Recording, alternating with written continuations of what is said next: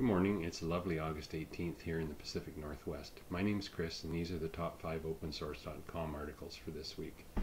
At number five, we have Tiberius Hefflin's incredibly useful article, How to Avoid Leaving Money on the Table with Salary Negotiation.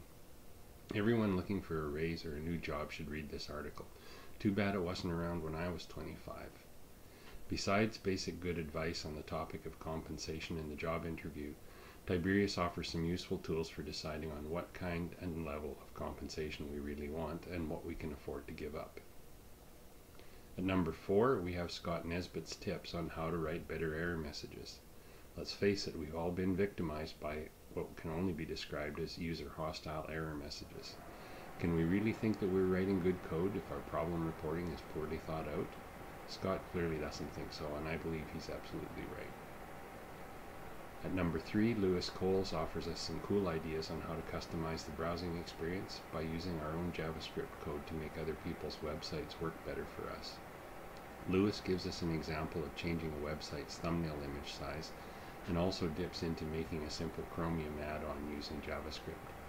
For me, this article fit into that broad category of, hmm, never thought of doing that before, but now that I've seen it, I'm inclined to give it a try. At number two, Jim Hall writes GNOME at 20, Four Reasons It's Still My Favorite GUI. Besides the four reasons, Jim takes us on a trip down memory lane, and it's nice to have the screenshots to show how things have changed since day one, and dare I say how much they have improved. Jim's four reasons have a kind of nice Kaizen feeling to them, giving a sense of understanding of the flow of the environment and using that flow to maximize work effectiveness. Well done. And at number one, Charity Majors explains testing in production. Yes, you can and should.